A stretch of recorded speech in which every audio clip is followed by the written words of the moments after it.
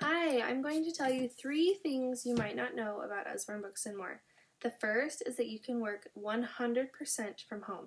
There are a lot of us that like to go out into the community and start to work with schools and do booths and things like that to build our business, but um, there are lots of consultants who work 100% from home, which is really great, especially when you have kids. This was not planned. He was supposed to be Can taking a nap, but he's here with me, and that's okay. Yes, you may. I just want, Um, the second thing you might not know about Usborne Books and More are that there are no minimums um, for anything. There are no monthly minimums that you have to meet, no quotas, nothing.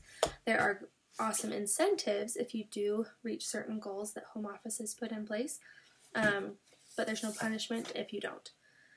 Um, the third thing you might not know about Usborne Books and More is that we have been around for over 25 years. When I heard about Usborne under a year ago, I had never heard about it before and was shocked to find that out. Um, so we've are very um, known in the publishing industry um, and becoming more popular over in the United States.